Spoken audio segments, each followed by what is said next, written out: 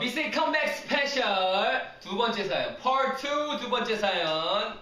안녕하세요. 제 여자친구를 소개합니다. miss A 수지입니다. 네, miss A 수지. 말을 그냥 무시를 하네. miss A 수지가 오늘 또 이렇게 게스트로 지하에서 네. 나왔습니다. 우후!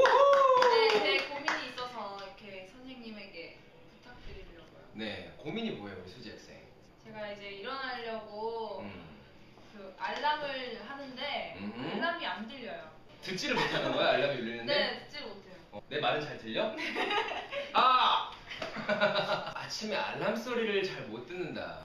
수지 씨는 지금 누구랑 같이 사세요? 언니들이랑 같이 숙소를 그쵸? 하는데 우리 지아랑 페이랑 같이 다 같이. 네, 방을 혼자 쓰죠. 어차피 일어날 때 다 같이 일어나야 되니까 이렇게 깨우거나 그러지 않나요? 서로 다 일어났을 거라 믿고 네. 각자 이렇게 생활을 하는 거죠. 아, 제가 또 여러분 공공연히 말하고 다니는데 미스에서 제일 좋아하는 멤버는 수지예요. 오! 잠을 일어나지 못한다. 정- 전화번호 좀 주세요. 수지가 약간 되게 예민한 성격은 아닌가 봐요. 네, 예민하지 않아요. 혜연이가 되게 예민해요. 어, 약간 둔한 스타일이에요?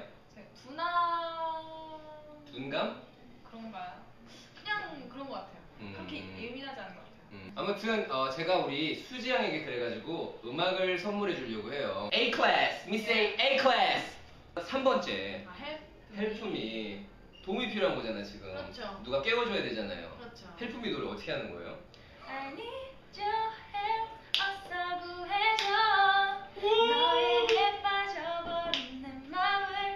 Oh. 여러분 제가 지금 수지가 이렇게 옆에서 라이브로 노래를 불러주니까 심장이 녹아내릴 것 같아요. 아무튼 수지, 어 잠을 알람 시계를 못 들어서 못 일어나는 수지에게 제가 선물해주고 싶은 music therapy는 미세이 A 클래스의 Help Me, 많이 많이 들어주세요. 그리고 저 좀 진짜로 도와주세요. Help me. Help Me.